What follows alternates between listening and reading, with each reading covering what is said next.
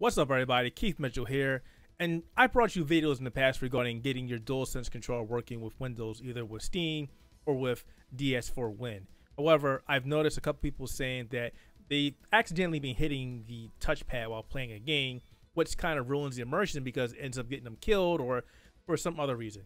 So I figured I would make a quick and dirty video on how to disable the touchpad or to optimize it for your playing experience.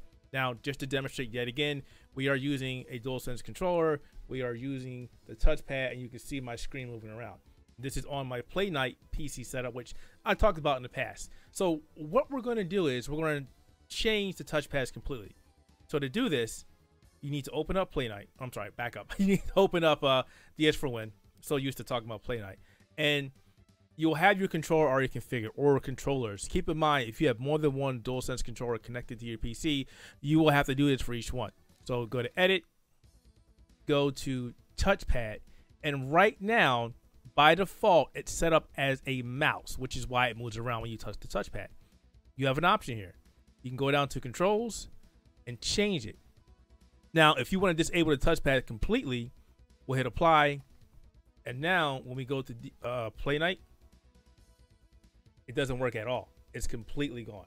We don't have a touchpad whatsoever. We also don't have functionality with the button, so it won't do anything. Now, if you want to keep the button ability, you can assign controls to these buttons, to the touchpad. So basically you say, hey, I want swipe up to type something or be a certain button on my keypad. So I'm going to say I want it to be on Y button, which is technically the square or triangle button. Swipe down, it's going to be the A button on my Xbox or the X for, or cross as they call it now. Cross, come on now. Swipe left would be the X button for Xbox, which would be the square button.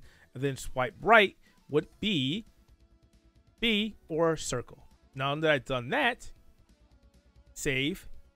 I go back to Playnite, and while the touchpad functionality is gone, if I I swiped up, it went into the game. So if I swipe up, which one is it? Swipe down. Which one did I make it? Which one did I make it? Oh, that one. It does that and it started my game right up for me. So there you go. But if you want to get rid of the touchpad completely, then like I said, I would just go into DS4Windows, and it's being weird because I'm playing a game. So let me kill this. As much as I love Axiom Verge, I'm not going to play it right now. It's a great game. You haven't played it. Do you want to disconnect the controllers? No, I do not. I wanted to change something. So go back to edit.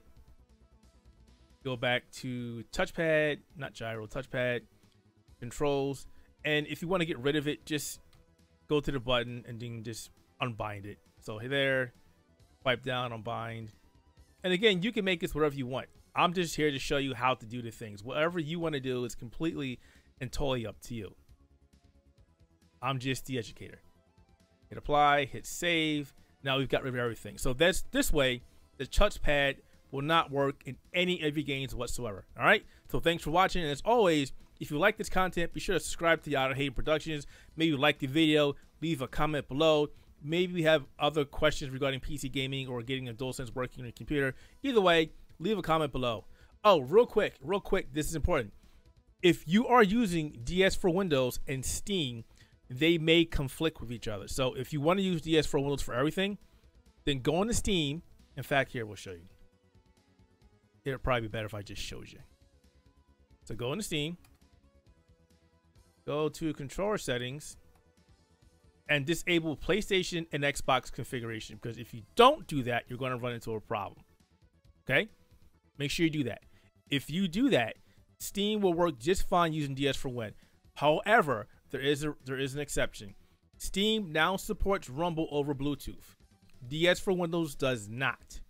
However, that only extends to games launching without a Steam, because Steam adds a wrapper using the Steam API. So, if a game won't work under Steam, or if you can't add it to be launched from Steam, you won't get Rumble. But if you're using DS4Windows, you get full access to everything. Just don't have Rumble and Lightpad support or Lightbar support. So it really depends on which one you want. Either way, you have two options that are viable for PC gaming. And as always, thank you for watching the video. Leave that comment, subscribe, and like us. Thanks for watching. And yes, this is a PlayStation hat. I do like it because it's cold in here right now. Thanks for watching.